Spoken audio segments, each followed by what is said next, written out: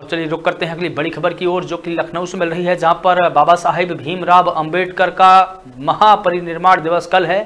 6 दिसंबर 1956 को बाबा साहेब का देहांत हो गया था और उसके बाद से 6 दिसंबर को बाबा साहेब का महापरिनिर्माण दिवस मनाया जाता है। बता दें कि बीएसपी अध्यक्ष मायावती उन्हें श्रद्धा के सुमन अर्पित करेंगी। सुबह साढ़े आठ बजे बीएसपी कार्यालय पहुंचेगी मायावती और उसके बाद में बाबा साहेब भीमराव अंबेडकर को श्रद्धा के सुमन अर्पित करेंगी बीएसपी अध्यक्ष मायावती। बता दें कि बाबा साहेब भीमराव अंबेडकर ने संविधान निर्माण कर भारत में लोकतंत्र व्यवस्था की स्थापना की है और संविधान के पितामह के तौर पर भी बाबा साहब भीमराव अंबेडकर को जाना जाता है और कल उनका महापरिनिर्माण दिवस है। इस अवसर पर देश भर में कार्यक्रम आयोजित किए जाएँगे।